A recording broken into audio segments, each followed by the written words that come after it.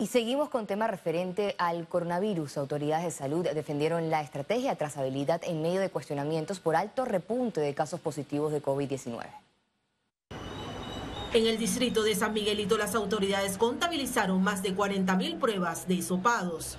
La meta del Ministerio de Salud es identificar la mayor cantidad de casos positivos de la región y reducir el impacto del COVID-19. No existe un librito para hacer las cosas de una manera perfecta ante el COVID-19.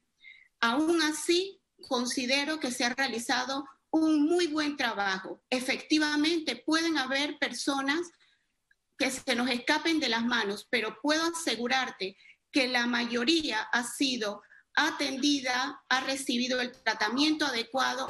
Adicional al trabajo de trazabilidad, el Ministerio de Salud activó otra medida para reducir el contagio la repartición de pantallas faciales a usuarios del transporte público. Transporte público, ¿por qué? Porque ahí difícilmente tú puedes guardar un distanciamiento físico porque no, no lo permite.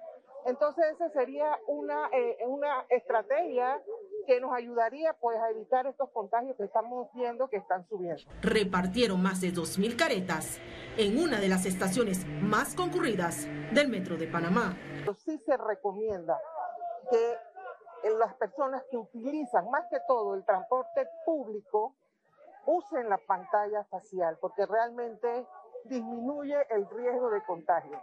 La empresa Mibus también se sumó a la iniciativa y repartió en otro de los puntos más transitados de Panamá Este las pantallas faciales a quienes transitaron por el lugar. Serán aproximadamente 100.000 pantallas faciales que se entregarán en todas las regiones de salud del MINSA a nivel nacional.